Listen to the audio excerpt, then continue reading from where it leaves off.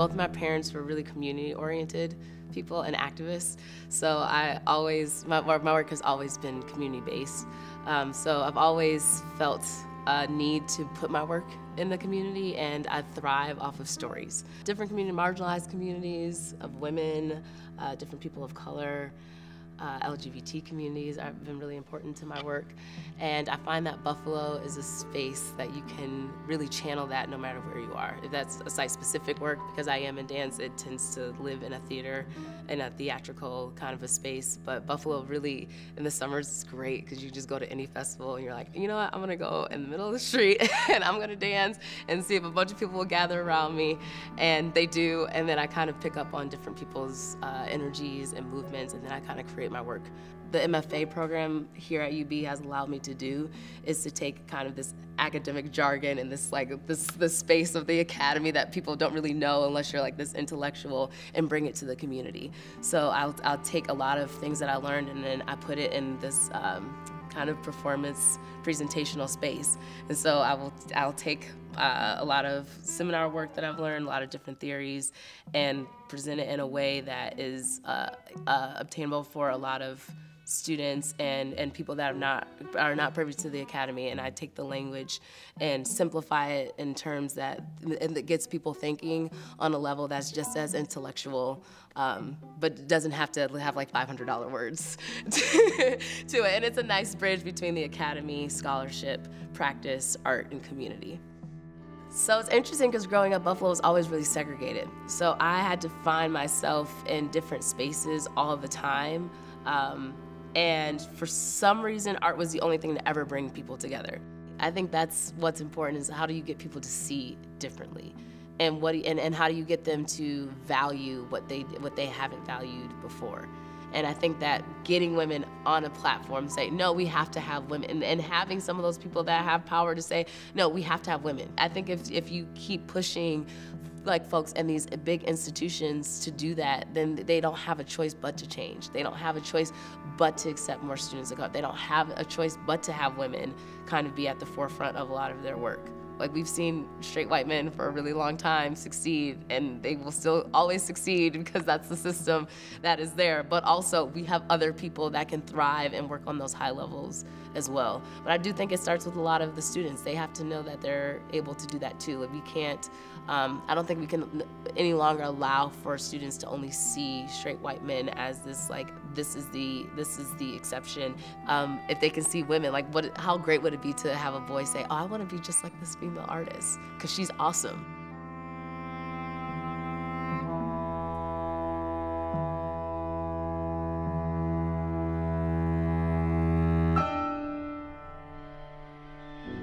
The idea for me is make a surface that is so beautiful that you wouldn't want to do anything to it. And then that's when I do something to it. So when you think you're attracted to something, it's really being attracted to yourself again. It's usually something that's familiar that you like, not something that's different that you like. Well, there's a lot of things that are great about being an artist here. And the word that I always describe to people is the neutrality of it. Because although I love New York and lived in New York for 15 years, there's nothing neutral about New York. It's either giving you too much or taking too much. And it's just always at the top of the scale of goodness and badness. And Buffalo really just is honestly neutral. It really is a pretty zen thing where you can be in your head, which I am a lot, thinking about my work and letting things just influence me. And you can only do that in a neutral state in a place that's like this. Well, we come to your studio and every surface is covered with doodles and drawings. I know you do them on the telephone, you're doodling pretty much all the time that's your that's your go-to. Some people might be phone games or something. Yeah, I wish I could make paintings this good. These like there's so many great ones and it's because I'm not thinking. I'm talking to a friend or, you know, talking to my mother And it's a little bit of, I can tell when my kids are on their computers and not really talking to me when we're on the phone together. So I'm doing it too, but I'm just using a pencil. The contemporary art scene, I think from what I've been able to make out, is 80% fueled by UB. Um, and I didn't know that back in the day because I wasn't, I wasn't connected with UB, but now when you go to shows and really I would say some of the top artists here are connected with UB. So when I got the fellowship to teach and to go to school there, I started seeing like, oh, there's this it's almost like a whole nother city and just people from all kinds of other universities and countries and um, I felt really privileged to be at my age and everything, going back to school and sitting in a classroom. It just was really a great, great honor and privilege to do it.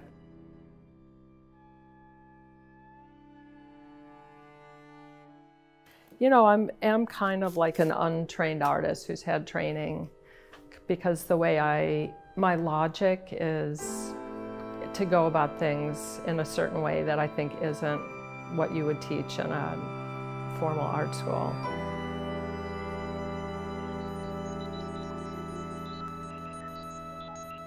I'm interested in the grains of the images and how media gives tactical quality to, to an image and how it brings like different layers of meaning um, into that uh, context.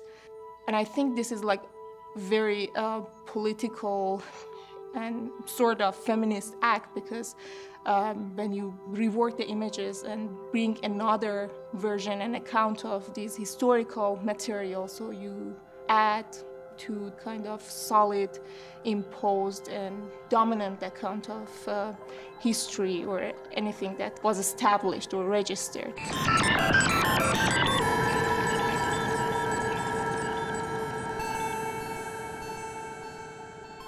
I work with the archive, and uh, archival materials play an important role in my work.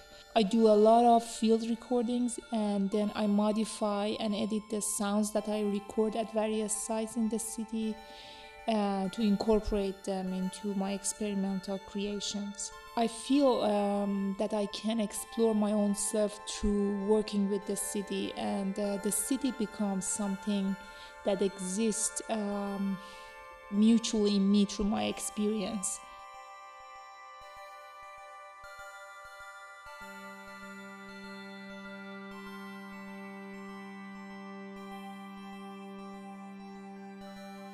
Uh, in the aspect of art, I think uh, the cities and the universities uh, welcoming like people with their own like differences, with their own concern, to be given a chance to talk and work and in the chance of this artistic or cultural activity they can come together.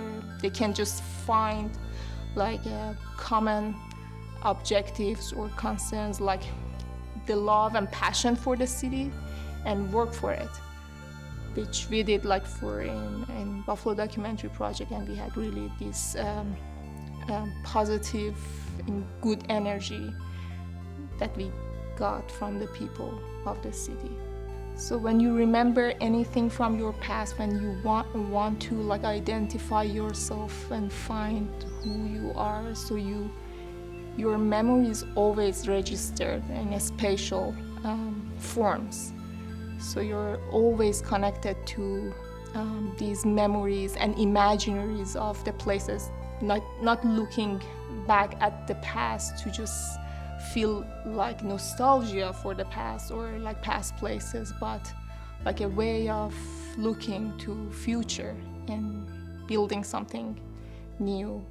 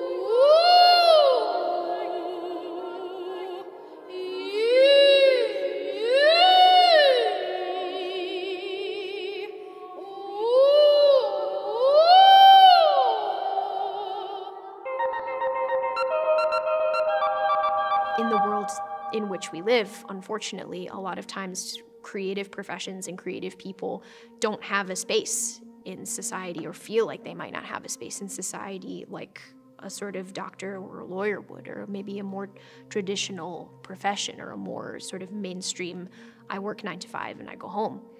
Um, I, I think that, that maybe that scariness is what makes it so beautiful though. I mean, it's, it's in a lot of ways, you have to figure a lot of things out and you're going to have to do a lot more thinking about where you want to be and how you want to get there than someone that works a nine to five job and goes home but that's not a bad thing i think that that like you said it, it really it makes it easier and more fun and more fulfilling and all of those things to create a life for yourself that you want rather than fit into something that someone else has created or something that you think you should be